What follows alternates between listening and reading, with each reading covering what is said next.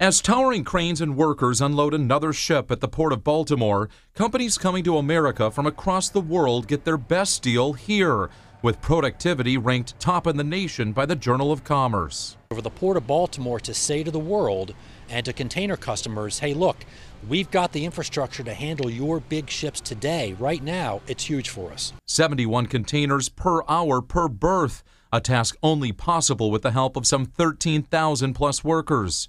Richard Scher with the Port Administration says earning the title as America's fastest port will help attract new business. There's a lot of room for growth. In fact, our Seagirt Marine Terminal, which is our primary container facility, is only about 60% full right now. So there's plenty of room to grow.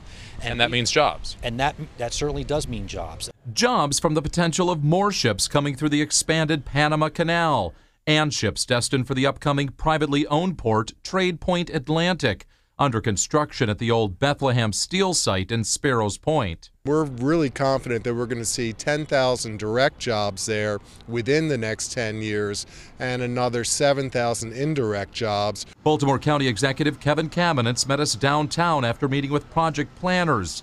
Excited three major tenants have already signed on, promising 3,000 jobs. Really a $3 billion investment uh, that has uh, that's really going to provide decent wages for that next generation of jobs.